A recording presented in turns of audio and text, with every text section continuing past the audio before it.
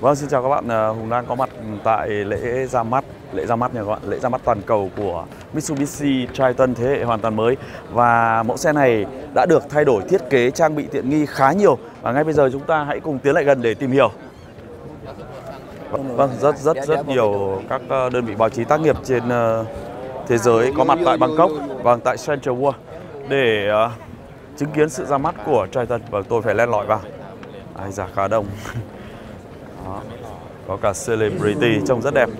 Vâng, chúng ta phải tiến lại gần và nhường uh, lách lách lách lách rồi. Đó.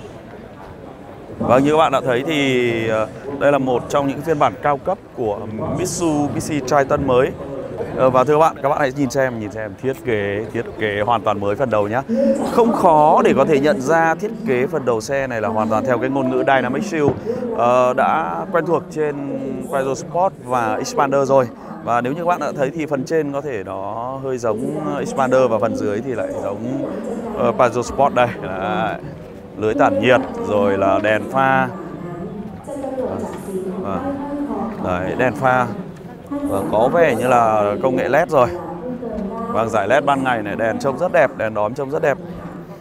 Và nếu như Expander đưa cái đèn pha xuống dưới, đèn pha cốt xuống dưới thì Triton lại không như vậy Bởi vì uh, theo mình được biết thì đây là mẫu xe dành cho các đường địa hình.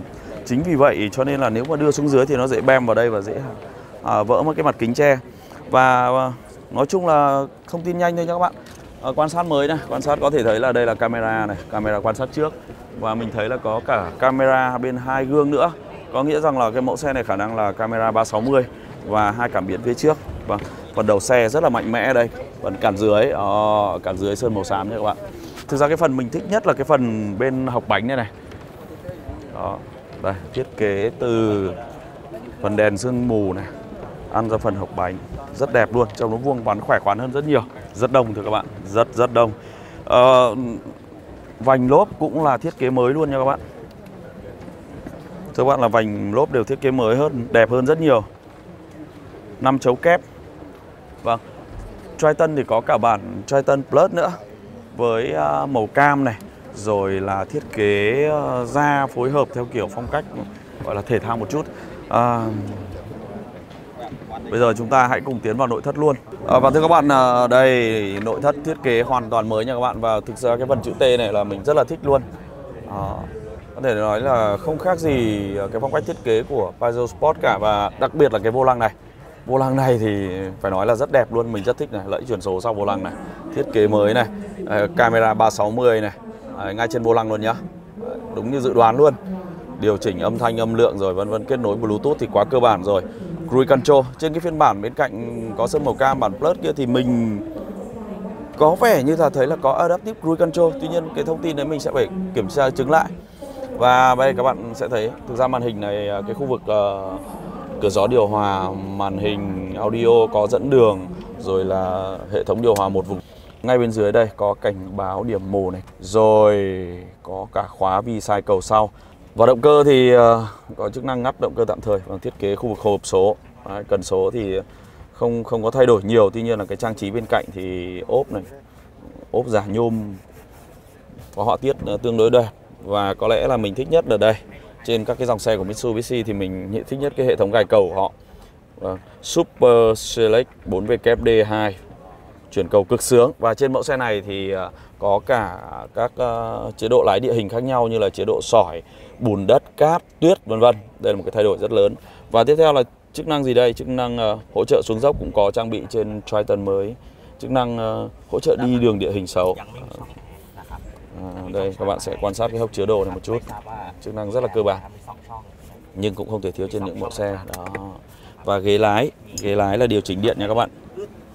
Ờ, điều chỉnh điện 6 hướng. Rồi. Mình sẽ điều chỉnh lên một chút. Và các bạn hãy hướng mắt nhìn lên trên Đây, hướng mắt lên nhìn lên trên nha các bạn Các bạn sẽ thấy uh, ở khu vực trên trần xe sẽ xuất hiện thêm cái hệ thống thông gió ra phía sau Vâng, đây là cửa hút và hai cái cửa thoát Rồi thưa các bạn, mình à, sẽ thử ngồi ngay, ngồi nhanh, rất nhanh vào hàng ghế thứ hai à, Quan sát thì độ ngả không không hay lắm nhưng mà khi ngồi vào thì cảm giác thoải mái Da rẻ ok, khoảng duỗi chân thì cũng như thế này thôi Đó, vâng đây là cái điều khiển các cái hướng gió điều hòa nha các bạn có thể tăng giảm này và hộc chứa đồ kết nối USB bằng hai cổng luôn hai cổng sạc điện cho các thiết bị di động ngày nay đó Thực ra thì những cái thay đổi này là rất là tích cực nha các bạn. Vâng, sau màn ra mắt rất nhanh tại Central World Bangkok thì chúng tôi được ờ, đưa đến một cái bãi thử đấy như các bạn có thể thấy phía sau này. Đó cái bãi thử được ờ, setup rất là công phu nha các bạn. Có cả cầu leo thoải mái luôn, dốc lên dốc xuống này. Và trước khi lái thử thì uh, chúng tôi sẽ phải bảo đảm cái vấn đề về an toàn. Và các cụ chương trình lái thử xe trên thế giới thì yếu tố an toàn luôn được uh, đề cao. Trước tiên tôi phải có hai cái thẻ được phép vào lái thẻ uh, kiểm soát rất là chặt chẽ. Mũ bảo hiểm uh, găng tay. Và ở đây thì có các uh, anh hướng dẫn. Uh, các anh ấy sẽ hướng dẫn rồi là rất là tận tình và chú đáo và thưa các bạn bây giờ thì tôi đã thắt dây an toàn rồi. Vô lăng rất là đẹp. Hai lại chuyển số này. Ờ, lái tay lái nghịch. Không sao cả. Tôi cũng đã phải ok bây giờ. Thực ra thì uh, thực ra thì uh, những cái trải nghiệm này cũng chỉ là trải nghiệm nhanh thôi. À, bây giờ thì uh, tôi đang uh, chạy trên uh, con đường nó toàn đá thôi độ bám kém. Và ok tôi đã được lại chạy rồi. À, động cơ mới có vẻ êm hơn đấy. Thực ra với Triton thì uh, khá hay. Vô lăng ờ, trợ lực dầu cũng khá nhẹ. Cảm giác nó thật tay thực ra với Triton thì mình đã chạy rất nhiều rồi. Và có vẻ như những cái dòng xe của Mitsu ấy vào con đường xấu ấy thì nó mới biết nó là hay tới cỡ nào. Càng chạy đường xấu càng hay. Bởi vì cái hệ thống khung gầm của nó quá chắc luôn. Lái khung gầm treo tốt. Đấy, nếu mà đi đường xấu đi đường này toàn chạy 6 7 10 km trên giờ đã có vấn đề gì cả. Rất kiểm soát xe rất dễ luôn. Dù bán tải nhưng mà đặt bánh vào đâu là đấy. Rất nhanh phòng chạy như này chưa được 5 phút. Chút nữa thì mình sẽ tới ờ, được ờ, tới nữa mình sẽ tới cái màn ờ, Masuoka chạy. Vâng, màn của bác Masuoka đã từng vô địch Paris Dakar mấy lần rồi. Đây, mình lại về vị trí ban đầu. Làm một vòng nữa. Cái động cơ mới này khá hay nhá. Nó nghe khá là êm và nó có chức năng tự ngắt này. Bây giờ mình dừng là nó đang tự ngắt nhưng mà điều hòa rồi điện nó vẫn hoạt động. Anh cứ lái xong bên này mình còn khu off road bên kia nữa kìa. Rồi rồi ok ok. Bởi vì mình đang đeo cái mũ bảo hiểm cho nên là có vẻ như động cơ nó êm thật. Nhưng nó cũng êm đấy. Giờ mình sẽ chạy nhanh hơn. Vòng một làm quen vòng thứ hai chạy nhanh hơn một chút. Tốc độ 70 80 kiểm soát xe Đấy. rất hay luôn nhỉ đuôi nó có thể trượt nhưng mà kiểm soát cái thân xe của Triton thì khá là tốt tầm cao nhưng mà không sợ chút gì cả hộp số 6 cấp chuyển số có vẻ mượt hơn đời trước rất nhiều đời trước chỉ là 5 cấp thôi bây giờ thêm hẳn một cấp thành 6 cấp chào mừng uh, các bạn đã quay trở lại chuyên cơ cùng với cả bác Masuoka này bác Masuoka sẽ là hướng dẫn tôi và chúng tôi đã chọn cái chế độ uh, leo đá rồi và chế độ ok bây giờ Yes, go. Go. ok Yes. On the brake. Yes. On the and right.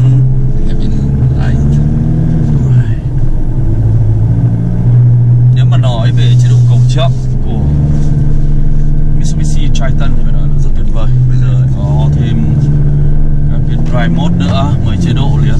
Sỏi rồi, đường cát, đường tuyết, leo đá. Và bây giờ mình sẽ leo lên một con dốc cao. Dốc cao, cao, cao. Có người hướng dẫn. Stop. Ok. Go. Slow, slow. Slow. Stop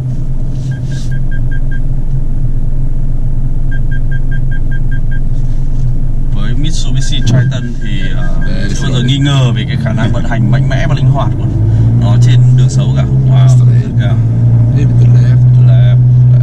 Oh, như lên trời luôn. Sate degree. Yeah. uh, yes. Ờ. Uh, and stop. Yes. Then và down is down. without a break. Yes and hill descent. Hill descent. Vâng. Hệ thống hỗ trợ xuống dốc và tôi sẽ bỏ chân ra. Đây các bạn có thể thấy. Đó, dốc rất cao Phanh So between two to 20 km per hour. à, 20 km 20, yeah. Yes, 20 km trên giờ cho các bạn Thoải mái luôn Very safety. Thì approach bây giờ thế này thì quá là dễ luôn Giờ tiếp tục sẽ đi kiểu tư thế là Biển một bên và vực một bên left. One little bit to left. Yes. Bác Masuoka sẽ lên trời còn tôi Rồi. sẽ Now it's vực. 20 degree. Vâng, 20 degree. 20 degree. nó dễ dàng Thực ra thì ờ, với Triton thì những thử thách này còn quá là nhẹ nhàng. Chút nữa phải bác Masuoka lái thử cơ. Và tôi đã cùng với bác ấy ờ, chạy trên ờ, đồi cát màu trắng rồi. Những giây phút vô cùng phấn khích. Ok straight. gập Đấy, bánh lên bánh xuống trải nghiệm này thì thực ra mình cũng chơi rất là nhiều ở Việt Nam rồi chỉ tông đi này quá nhẹ nhàng chí thả chân ga rồi nó bỏ lên Đó. Six to Đó. Torsion. quá mạnh thực ra cái hệ thống ờ, Super Select 4WD của Right. Mitsubishi thì quá hay rồi không phải ngẫu nhiên họ giành được rất nhiều chiến thắng trong cái giải đua Paris Dakar giải đua khắc nghiệt nhất hành tinh. Và tiếp tục. Chậm chậm Straight. Straight. straight À, cứ giữ thẳng rồi việc còn lại để xe lo. Cùng gầm chắc chắn. Lái chính xác. Quá đơn giản luôn. Quá dư thừa. Quá dư thừa mô men xoắn vật lực đi dễ dàng Ờ, trải nghiệm rất nhanh nhưng mà Good. thank you My name is Kazuto. very nice to meet you Nice to meet yeah, I'm you. From Vietnam you from Japan Yes. I'm uh, Mitsubishi Motors in test driving Oh, yeah, instructor. yeah, yeah, yeah. Driving instructor. Okay. Ngày bây giờ là hot lap Lúc nãy tôi tưởng mình chạy với bác Masuoka Nhưng mà Ok. tôi sẽ chạy với Ok, đâu, nào, nào, nào this is like two laps. Two laps Yes. Vâng, những chuyên gia lái thử xe từ, từ Nhật Bản thì nó sẽ mang cho mình những cái phấn khích vô cùng luôn Vâng, thưa các bạn Cực kỳ cân bằng luôn đó Vâng, trong một cái góc cua cực kỳ nhỏ thôi Cực kỳ nhỏ nhưng mà kiểm soát cái xe quá hay luôn. Không có việc trượt ra đâu. Đó Xe nó cứ trượt trượt tuy nhiên. Và bay nó băm băm băm băm băm uh, Quá êm luôn. Vâng, gầm phải nói quá hay luôn. Rất Yeah. thực sự trong cái địa hình quá nhỏ mà chuyên gia có thể lái được như thế này thì thì quá tuyệt vời vâng tiếp tục vòng thứ hai vâng yeah Đó. Và những chiếc xe như thế này thực ra hôm trước thì cùng với Leonardo thì đã thấy hay rồi tuy nhiên hôm nay với tay đua tới từ Nhật Bản chuyên gia chuyên lái thử xe các cái dòng xe Mitsubishi đó và các bạn có thể thấy anh ấy đánh lái liên tục và cái xe nó cứ trượt trượt ngay trong một con đường cực kỳ nhỏ nhưng rất trơn và bây giờ tôi lại bay lên một lần nữa bay băm hạ cánh êm quá hay luôn nice tuyệt vời yeah, I love it I think you dance Thank you very much. Thank you. Yes, thank you very much. Hope to see you again. Tuyệt vời. Tuyệt vời các bạn ạ. Những cảm xúc thật sự là rất tuyệt vời Mặc dù chỉ 2 phút thôi Nhưng hoàn toàn có thể lên đỉnh. Mặc dù anh ấy là một Manly. Phần đuôi xe của Mitsubishi Triton mới thì ờ, nhìn nó cũng mạnh mẽ hơn rồi nhưng mà thực sự nó vẫn bị hơi vẩy vẩy lên một chút. Ờ, trông nó vẫn hơi đơn điệu tuy nhiên so với đời trước là đẹp hơn hẳn. Và các bạn có thể thấy đây, đó, phần ờ, hốc bánh này Ờ, đỏ tới cả gang luôn. à, phần đèn đèn này là đèn led hết nha các bạn. à, nếu như mà trong đêm á thì cái phần giải led này này, à, nó uốn lượn này trông rất là đẹp. Những chiếc xe bán tải ngày nay thì uh, chú trọng về ngoại hình, về hình thức khá là nhiều rồi Và cản dưới, bốn cảm biến lùi nhá Có bốn cảm biến ạ Camera lùi Và trông nó khỏe khoắn hơn chứ nó không yểu điệu như Triton đời trước nữa và bây giờ mình sẽ mở cái thùng này lên à, thùng cũng khá là cao đấy rất là cao đây để đứng đến đây luôn ạ ờ. à. và thực ra mà nói thì uh, nhìn chung với uh, Triton thì so với các đối thủ uh, trong cùng phân khúc thì um, có thể nói là đã tăng được cái sức cạnh tranh của Triton rồi. Tuy nhiên để mà nói để dẫn đầu phân khúc thì có lẽ là chúng ta cũng phải chờ phản hồi từ khách hàng và chính các bạn. Ờ, các bạn có những ý kiến như thế nào? Xin vui lòng hãy comment bên dưới clip.